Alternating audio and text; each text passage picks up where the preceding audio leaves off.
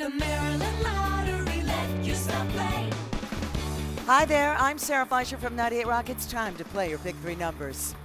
For starters, we've got an eight. Your number in the middle is that's a two. Your last number for your pick three game.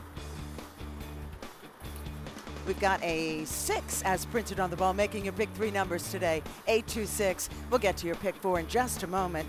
The new Lucky Sevens game book is six $5 scratch offs for $20. Look for the book at your favorite lottery retailer. And now drawing official Bob Diamond, all set, ready to go with your pick four numbers. Moving right along.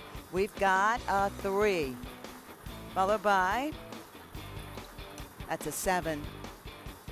Your next number is zero.